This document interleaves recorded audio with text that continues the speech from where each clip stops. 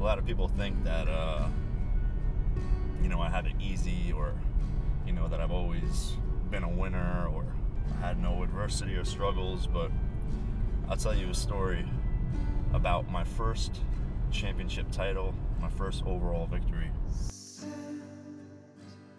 2011 in Metropolitans, first call out, I make the first call out, and they take me from the center, and immediately, you know, they put me on the side. And uh, historically, when that happens, you know, you think you either got fifth or fourth place.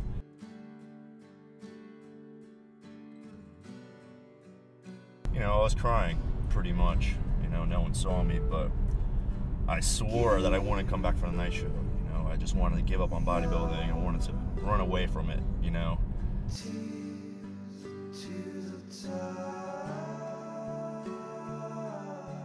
My friend talked some sense into me, and he's like, "Listen, you know, you got to come back for the night show," and uh, I did, expecting, you know, to place fourth or fifth.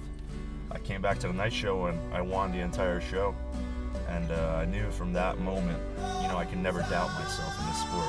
You know, I always got to believe in myself, believe that I'm a champion. And uh, fortunately, I had very good luck on that stage. I came back in the New York Pro in 2012, won my second pro victory.